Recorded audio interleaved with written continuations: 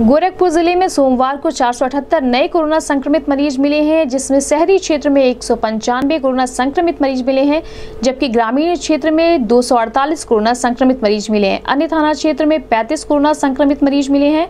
वहीं BRD medical college Gorakhpur में 80 वर्षीय पुरुष की मौत हुई है। इसके बाद से ज़िले में संक्रमितों की संख्या चौवन हो गई है। इसमें पाँच सौ इकहत्तर की मौत हो चुकी है। सैतालीस लोग स्वस्थ हो चुके हैं, जबकि एक्टिव केस 6,411 हो गए हैं। इस संबंध में सीएमओ डॉक्टर सुधाकर पांडे ने लोगों से विशेष सावधानियों को बरतने की अपील भी की है। दो गज की दूरी मास्क है ज़रूरी सामाजिक दूरी का करे पालन अपने और अपने परिवार को बनाए स्वस्थ और सुरक्षित।